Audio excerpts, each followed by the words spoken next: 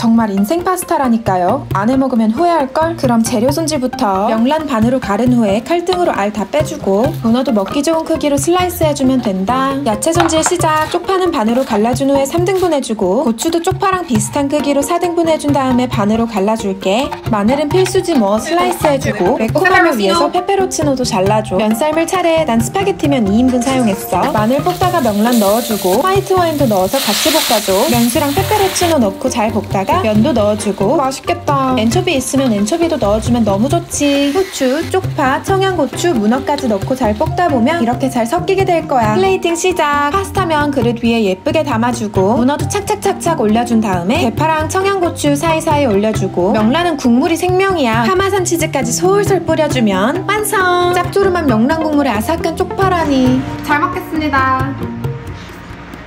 음, 최애 파스타예요. 최애 파스타.